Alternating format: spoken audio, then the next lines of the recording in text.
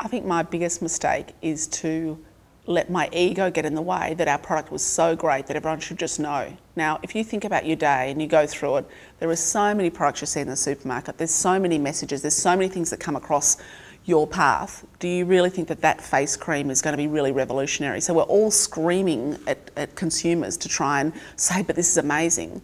And I just thought, oh, well, they should just know and they should respect how great the product is.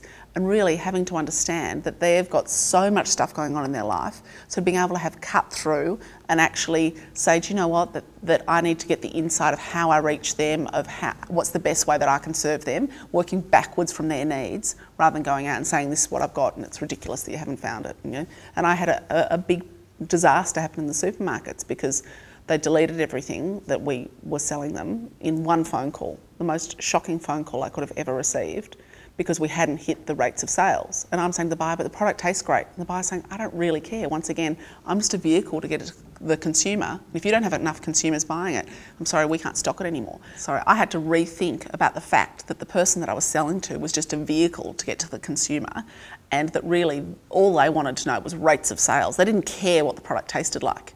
And so that sense of going, but my product's gorgeous, you know, that really understanding that that's not what they were caring about. They were caring about selling six packets per store per week around the country.